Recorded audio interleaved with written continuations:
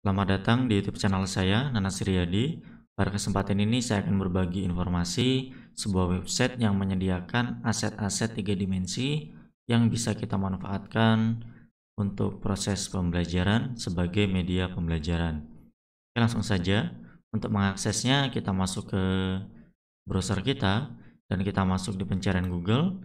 Kita cari saja 3D Tang atau Tangs ini. Nah ini ya, jadi website yang kita gunakan adalah tangs.com. Kita buka websitenya. Nah di sini langsung muncul beberapa karakter atau aset-aset yang bisa kita gunakan. Semuanya tiga dimensi. Kita bisa melakukan pencarian ya. Di pencarian Google kalau kita mau mencari yang lainnya atau sesuai dengan yang kita inginkan. Misalnya kita mencari tentang anatomi, maka nanti akan muncul aset-aset yang berkaitan dengan anatomi tubuh misalnya. Ya, di sini jadi ada yang berwarna, ada yang biasa warnanya.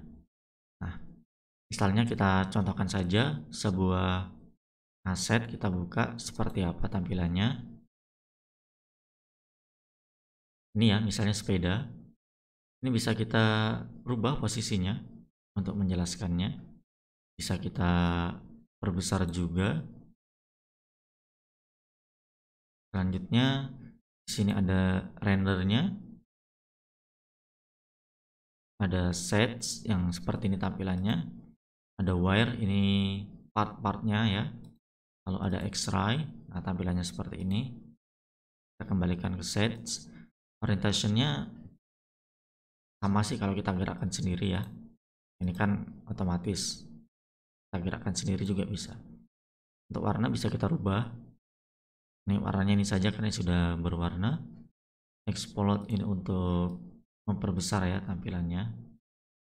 Nah di sini yang sangat menarik nih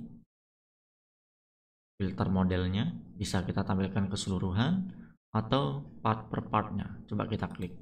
Nah jadi hanya menjelaskan bagian framenya saja.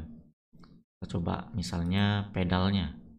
Ini hanya muncul di bagian pedalnya. Jadi kita bisa menjelaskan tentang pedalnya secara fokus.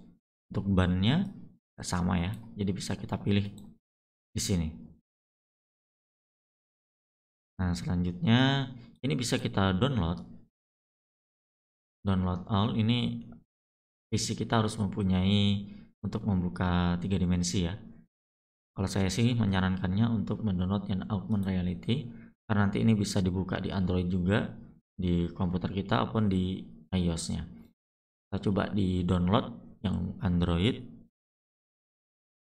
Kita tunggu beberapa saat. Ini ukuran filenya nggak begitu besar. Ini sudah selesai.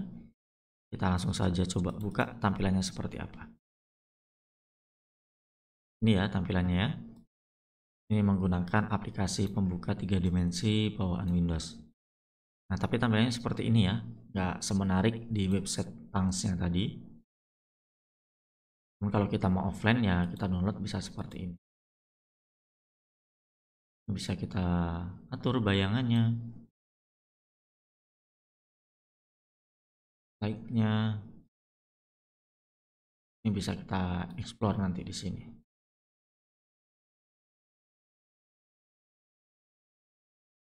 Ya, jadi inilah yang dapat saya bagikan pada kesempatan ini. Semoga bermanfaat.